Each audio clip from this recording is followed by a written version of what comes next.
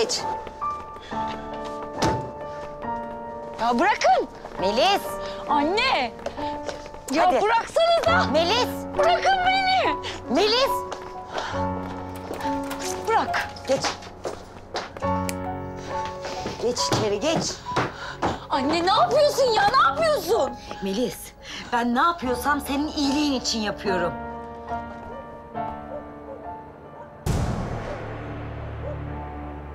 Ekrem abi.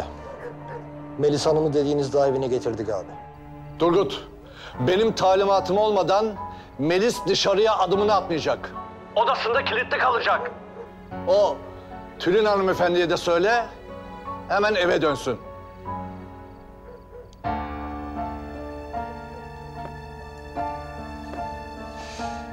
Oh be, sonunda Melis'ten kurtuldum. Artık Ziya ile aramıza giremez.